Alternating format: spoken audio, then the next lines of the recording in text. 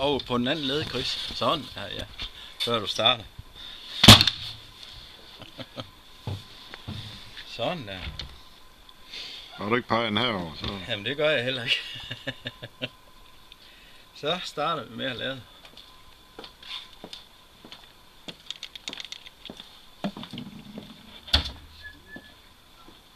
Og så for at huske, hvor langt jeg er kommet, så ryger den lige.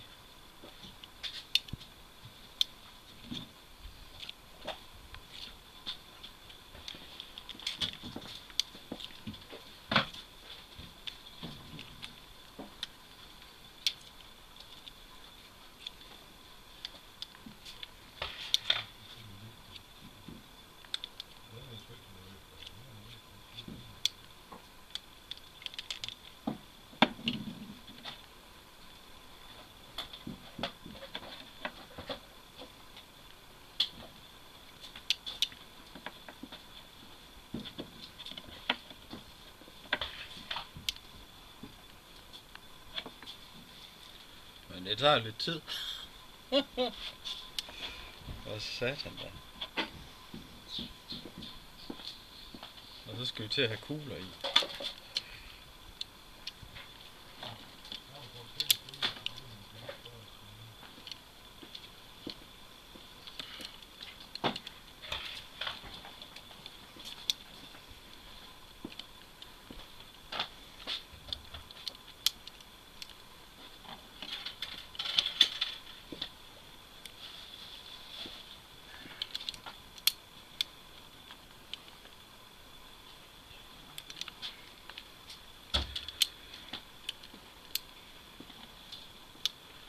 Det, det var derfor, det hed 30 års krigen, Chris.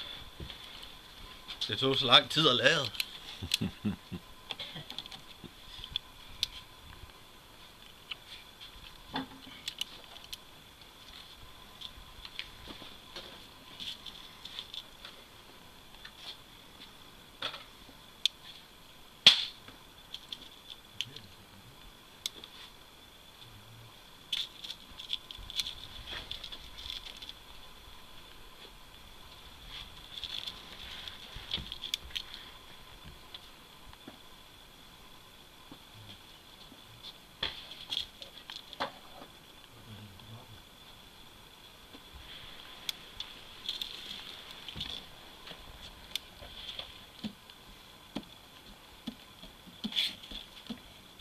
klar, ne? So, wie klar.